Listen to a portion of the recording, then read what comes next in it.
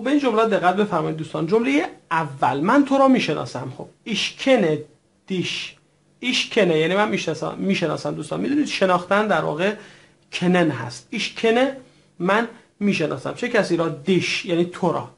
ایشکنه دیش من تو را می‌شناسم. جمله بعد تو ما را می‌شناسی. دو کنست تو می‌شناسی. چه کسی را؟ اونس ما را. دو کنست اونس تو ما را می‌شناسی. جمله بعد ما آنها را می‌شناسیم. ویر کنن ویر کنن ما می‌شناسیم. چه کسی رو؟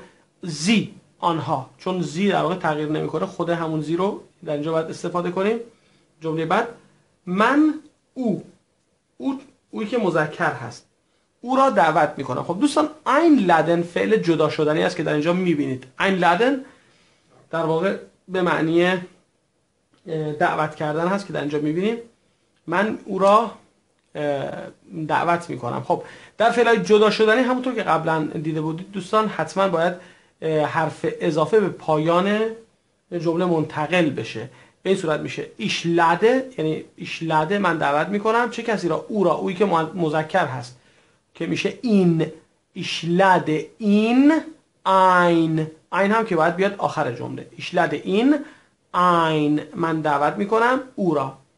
جمله بعد او شما شمایی که چند نفر هستید رو می‌شناسد. او شما را می‌شناسد. ارکنت یعنی او می‌شناسد چه کسی را؟ اویش. اویش یعنی شمایی که در واقع چند نفر هستید. ارکنت اویش. او شما را می‌شناسد. و جمله بعد من شما شمایی که معدبانه هست یعنی همون زی.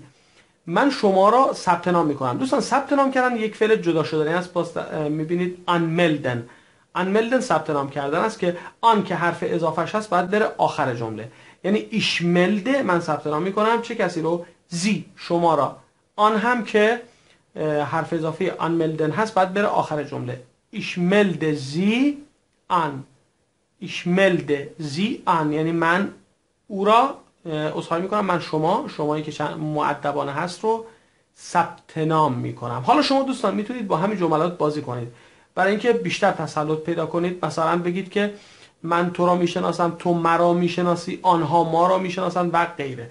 مثلا اگه بخوایم جمله اول رو که گفتم من تو را می‌شناسم به این صورت تغییرش بدیم که تو مرا می‌شناسی خب طبیعتا باید بگیم دو کنست میش دو کنست میش یعنی تو مرا می‌شناسی.